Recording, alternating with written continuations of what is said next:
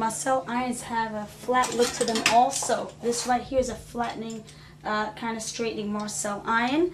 Um, you want to go ahead and use this to make the hair straight, even put a little bump into it. Um, we would do, we would heat it up first. Get a piece right here.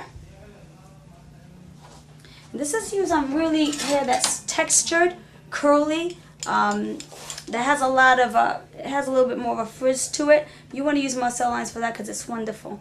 And you want to go ahead and come down like that and come down like that again on the hair. So it gives it a straight look and downward.